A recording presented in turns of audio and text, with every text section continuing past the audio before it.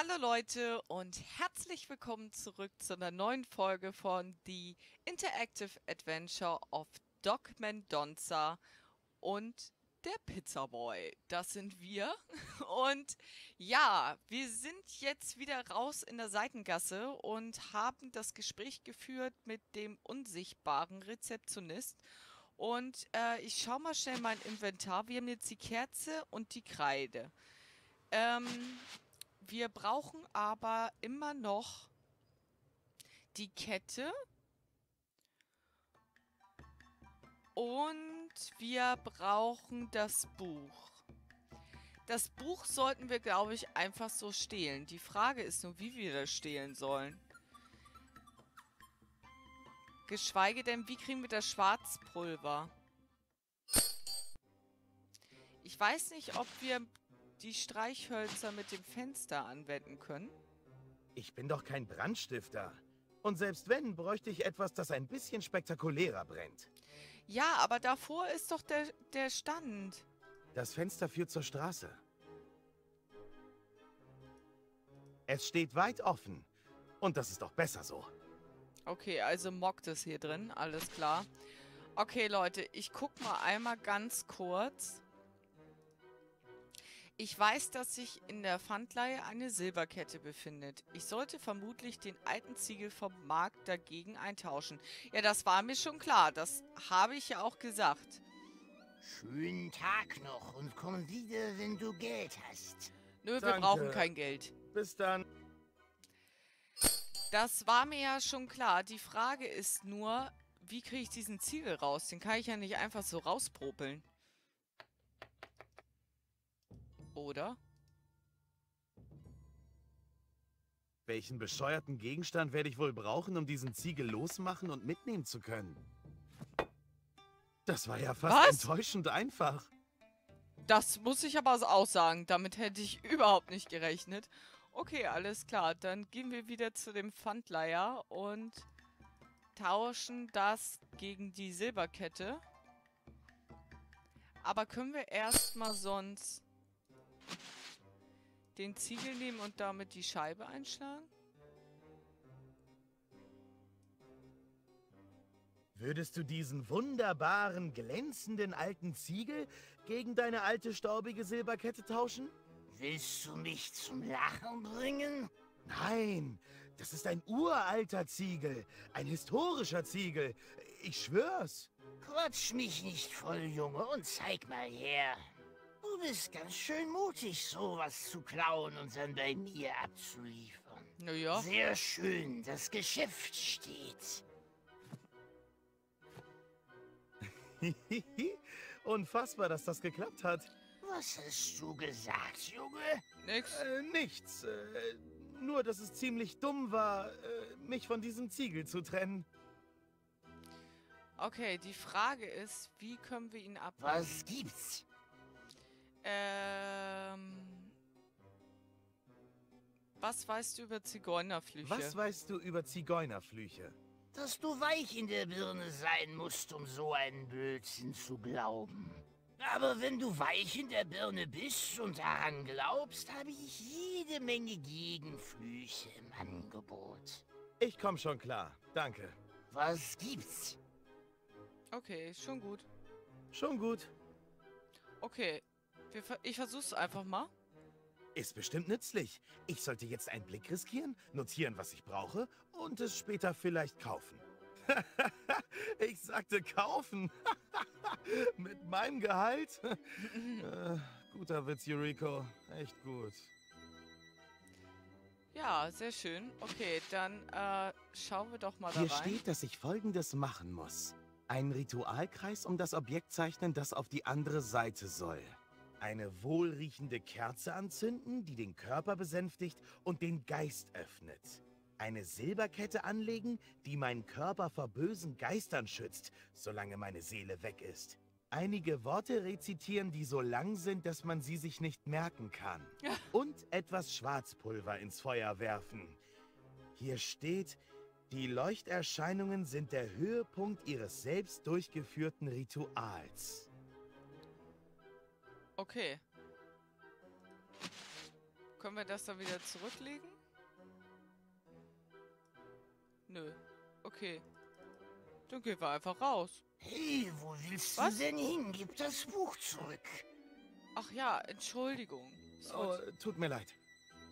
das wollte ich natürlich machen. Schönen Tag noch und komm wieder, wenn du... Danke. Bis dann. Ich brauche das nicht mehr. So, aber wie komme ich jetzt an das Schwarzpulver ran?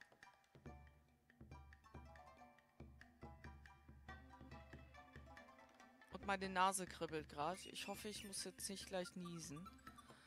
Äh, ich guck mal ganz kurz. Hä? Zauberbuch beschaffen habe ich doch. Ich brauche eine Kette, die lang genug ist, um aus dem Buch zu befestigen und dann aus dem Fenster zu werfen, damit ich von der anderen Seite an das Buch herankomme. Hä? Ich habe gedacht, das reicht so. Okay. Kann ich das nochmal nehmen? Nein, ich möchte da nicht mitreden. Jetzt. Auch nicht dran lecken. Ist bestimmt nützlich. Ich Ich Ja, sagte, das kennen wir schon. So, dann kann ich die Kette mit dem Buch Die Kette ist zu kurz. Sie passt nicht mal um das Buch herum. Schade. Okay, ähm... Sneakers. Ich will das nicht in meine Jacke stecken. Okay, schade. So, wir brauchen jetzt irgendwoher eine Kette. Eine lange Kette. Okay, und was ist... Hey, wo willst du denn hin? Gib das... Ja, das Buch, natürlich. Oh, tut mir leid. Schönen Tag noch und komm... Danke. Ich brauche kein Bis Geld. dann. So. Aber was mich am meisten interessiert, was ich leider jetzt mal luschern muss, wegen dem Schwarzpulver. Wenn ich zwei oder dreimal versuche, den Feuerstand anzuzünden, kann ich bestimmt Feuerwerkskörper mit Schwarzpulver an mich bringen. Oh, tolle Wurst. Einmal habe ich es ja schon versucht. Machen wir es halt nochmal.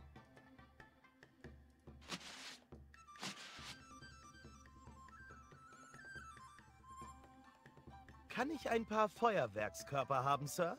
Nein. Was ist denn bloß mit deinem Hirn los? Haben deine Eltern dich mit Bleifarbe gefüttert? Mach das nochmal und ich breche dir den Hals und uriniere auf deinen Kadaver. Ih, Pfui Deivel. Ja, das machen wir nochmal. Stehen wir drauf. Kann ich ein paar Feuerwerkskörper haben, Sir? Nein. Was muss ich tun, damit du aufhörst? Dir Feuerwerkskörper geben? Oh, nimm dir welche und zisch ab. Ja! Oh Mann, sie sind kaputt gegangen, als ich sie in meine Jacke gesteckt habe.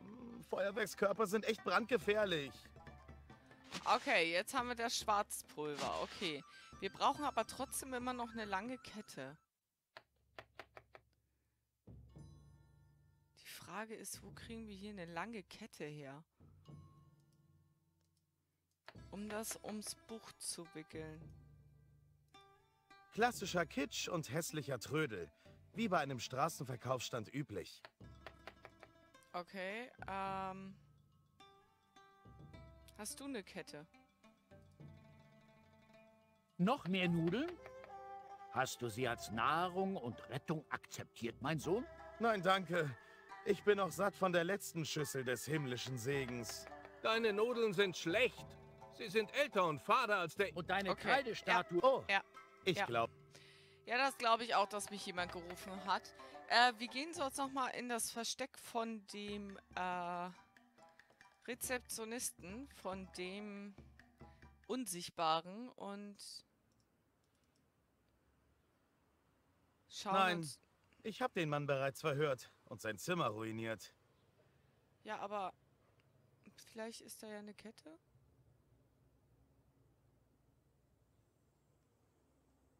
Abfallhaufen. Kann ich den untersuchen?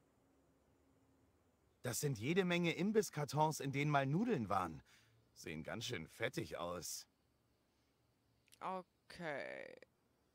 Hier das Schloss, da komme ich nicht dran. Das. Nö. Okay, wir gehen noch mal zu Miss Chen. Ah, Moment. Ah, stopp, stopp. Kette. Die Kette nehmen? Aber woher wissen die Leute dann, wo sie warten müssen? Und wenn die Leute nicht wissen, wie man wartet, wie sollen sie dann wissen, wie man sich verhält? Es würde Chaos ausbrechen. Väter würden ihre Kinder töten und ihre Eingeweide essen. Das wäre der Horror. Natürlich. Ach was, ich nehme sie trotzdem mit. Okay, alles klar. Das heißt, wir müssen doch nicht mit Miss Shen reden. Dann gehen wir wieder in die Pfandleihe und klauen jetzt das Buch.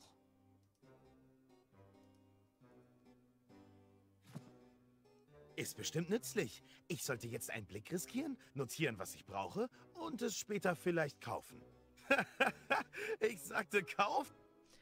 Okay, äh, die Kette mit dem Es ist Buch. ja nicht so, dass das Buch irgendwo hinlaufen würde. Ich sollte eine andere Verwendung finden. Und raus mit dir aus dem Fenster. Achso, mit der Kette so. Ah, okay, alles klar. Dann gehen wir wieder raus, weil wir haben es ja nicht... Schönen Ja? Tag noch und komm Tschüss. wieder, wenn du Geld hast. Danke. Bis dann. Und jetzt ziehen wir an der Kette. Hab ich dich. Pasul, auf zu unserem nächsten Ziel. Das ist die Sehr richtige gesprächig. Einstellung. Zurück zum Hotel Romero. Wir müssen einen Geist verhören. Oh ja, das müssen wir.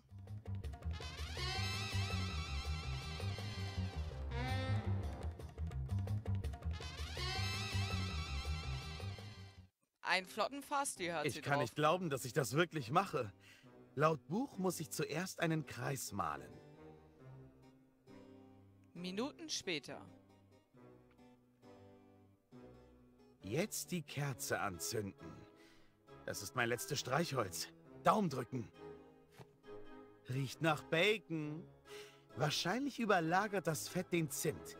Naja, wird schon funktionieren. Also, Pasul, das ist jetzt wichtig. Wenn du siehst, dass die Kerze langsam erlischt, musst du mich aufwecken. Denn sonst sitze ich möglicherweise für immer bei den Geistern fest. Lies jetzt laut vor. Klatu, Barada, Niktu. Und jetzt Schwarzpulver.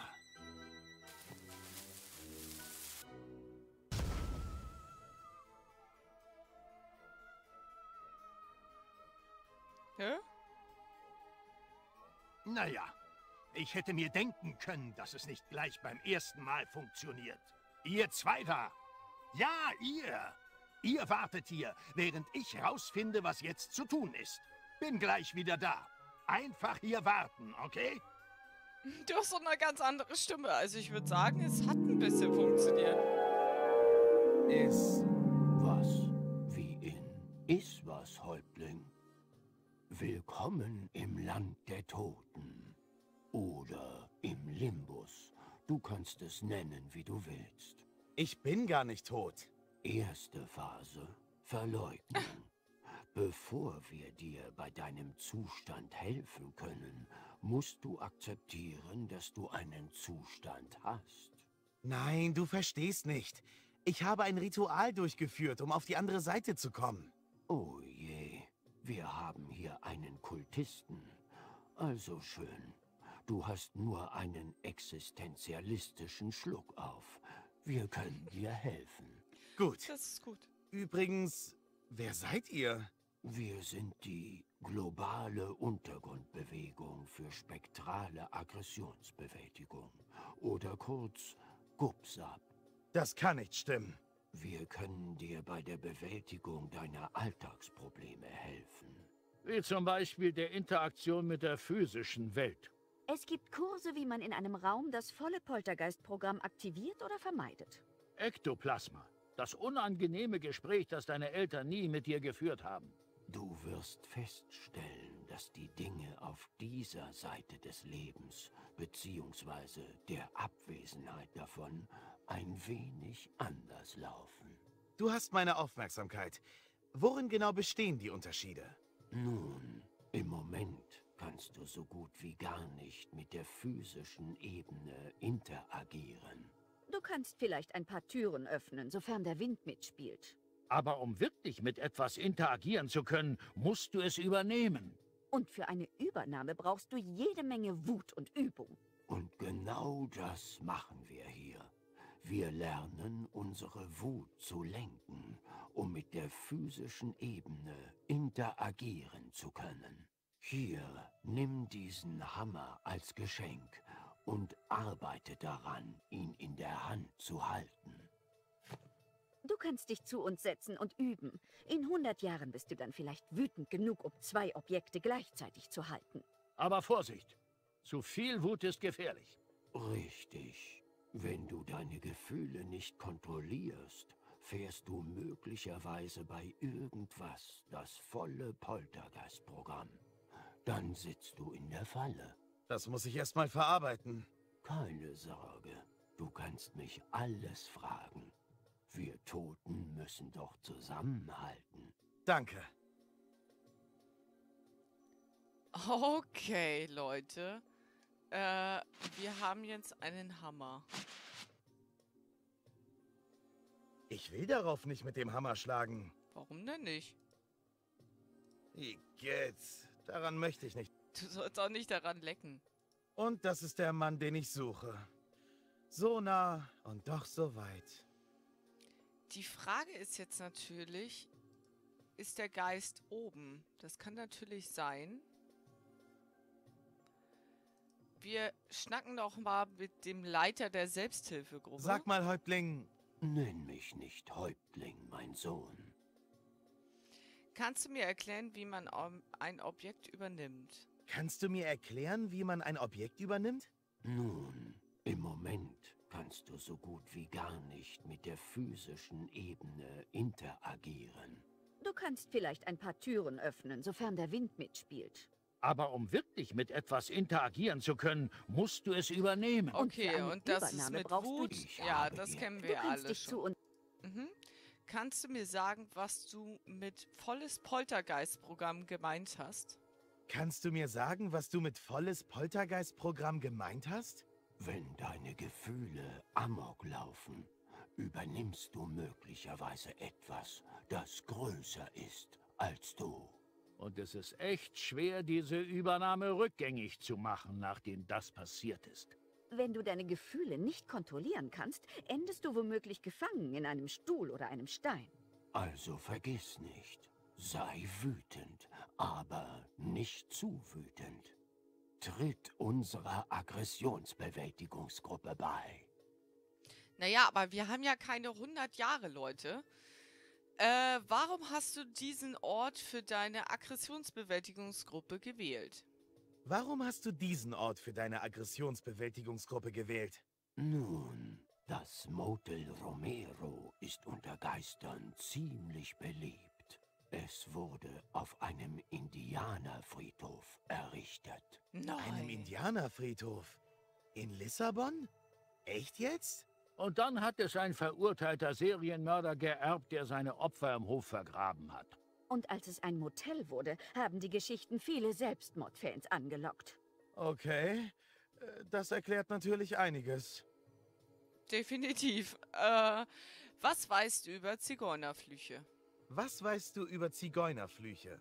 Verwende bitte das Wort Zigeuner nicht oder Indianer.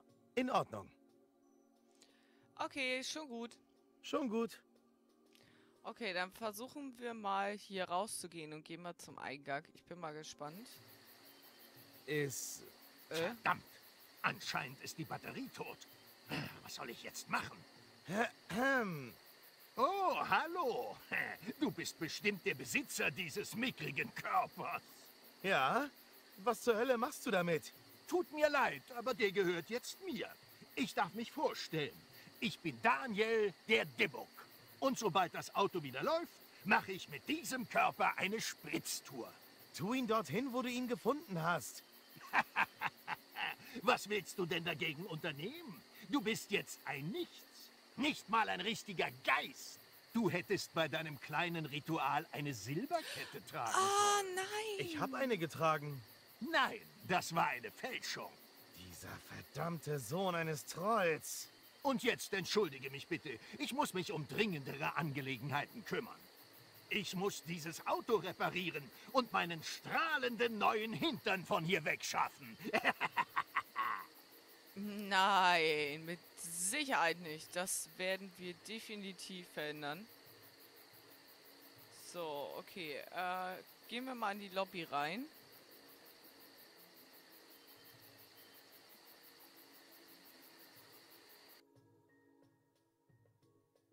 Okay. Aber wir können ja mit Sachen überhaupt nicht interagieren, hieß es. Nur mit Wut. Wer bist du denn? Tarzan Taborda. Okay, alles klar. So. Ich würde sagen, ein ehemaliger Boxer. Und ich würde aber sagen, bevor wir mit dem ehemaligen Boxer sprechen, beende ich hier diese Folge. Ich bedanke mich bei euch fürs Zuschauen, wünsche euch noch einen schönen Tag, Abend, wie auch immer. Und wir sehen uns hoffentlich in der nächsten Folge. Macht's gut, Leute. Tschüss.